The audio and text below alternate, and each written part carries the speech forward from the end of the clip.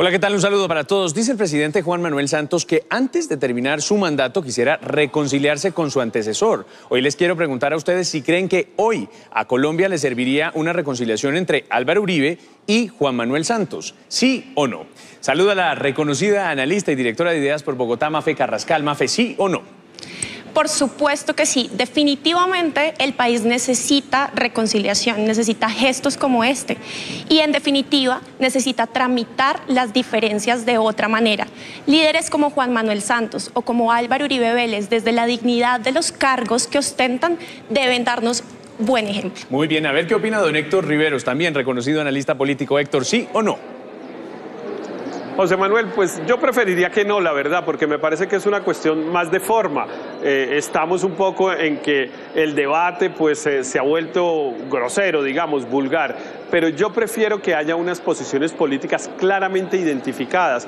Yo considero que la polarización, que tiene mucho de negativo, ha aportado también a la cultura política colombiana, porque hoy cada uno de nosotros tenemos más claro de qué lado estamos. Interesante, Mafe, ¿le ha servido la polarización entre Uribe y Santos al país, como dice Héctor? De alguna manera sí sirve, pero de otra, que es lo que yo he venido defendiendo, yo soy activista, defiendo la participación, eh, defiendo que la gente se pueda expresar, me encantan las redes sociales para poder hacer esto, pero sí creo que no tiene nada que ver converger con tener un consenso. Pero en definitiva, el insulto, la calumnia y diferentes formas de tramitar esas, esas diferencias, valga la redundancia, pues ya están mandadas a recoger definitivamente. Eso no le ha servido al país y necesitamos que este debate por la presidencia sea diferente, sea un debate limpio, sea un debate respetuoso y donde esas diferencias sirvan para enriquecer el debate y no para Claro, Héctor, habrá quien diga también que lo de Uribe y Santos no es precisamente una diferencia de carácter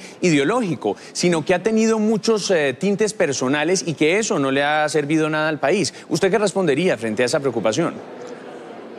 No, yo estoy de acuerdo con ambas afirmaciones, con la de Mafe de que tenemos que tener un debate respetuoso, sin, sin insultos, etcétera, pero para eso no necesitamos que Santos y Uribe se den la mano, sino que lean la urbanidad de Carreño eh, y que pues hagan un debate con, altura y con respeto, por una parte. Por otra parte, yo sí creo que hay unas diferencias ideológicas no tan profundas entre el presidente Santos y el presidente Uribe, pero yo creo que los colombianos nos hemos ido alineando en dos grupos que yo diría, para simplificar, que fueron los que estuvimos por el sí y los que estuvieron por el no, que tenemos dos tipos de, visión distinta de cómo debe ser la sociedad. Unos tenemos, digamos, una visión un poco más progresista, por llamarla de alguna manera, y otros un poco más conservadora. A mí esa diferencia tan clara me gusta, porque no la teníamos como consecuencia del Frente Nacional que nos había puesto a todos más o menos en el mismo saco. A mí, en definitiva, también estoy de acuerdo con Héctor en que me encanta que haya una diferencia, que cada uno tenga eh, claro, claras cuáles son sus principios y los defienda sin ningún tipo de censura. ¿Es, eso o, Uribe también ha tratado de tender algún puente y en algún momento Santos y los santistas eh, lo han desatendido? Hasta donde yo tengo entendido, el presidente envió una carta en julio del año pasado al senador Uribe y este no la quiso responder. Por otro lado, fueron, así como estamos viendo en las imágenes, eh, fueron de visita al Vaticano, estuvieron con el Papa y demás y no se ha podido lograr. Héctor, una última intervención.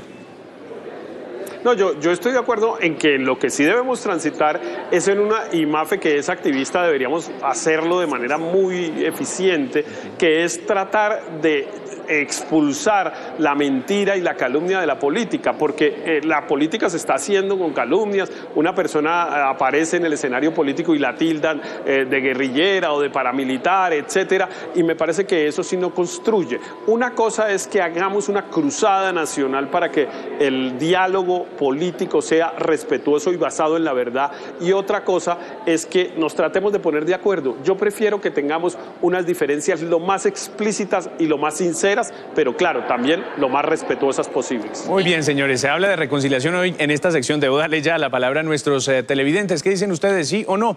¿Cómo van los resultados?